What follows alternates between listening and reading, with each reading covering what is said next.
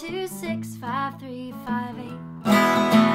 Pi's the number we all love and we appreciate. Who's to say where the number ends and who's to reason why?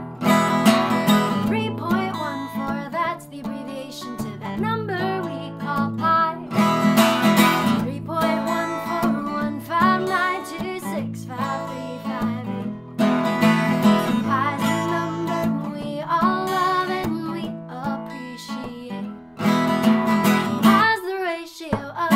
circumference of a circle to the diameter.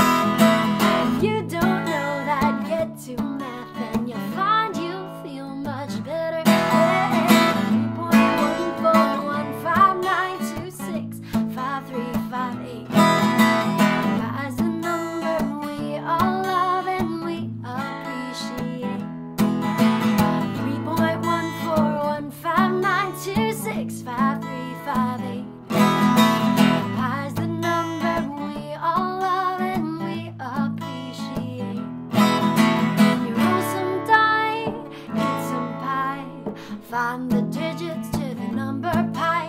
Then you roll some die and eat some pie. Find the digits to the number 3.141592653.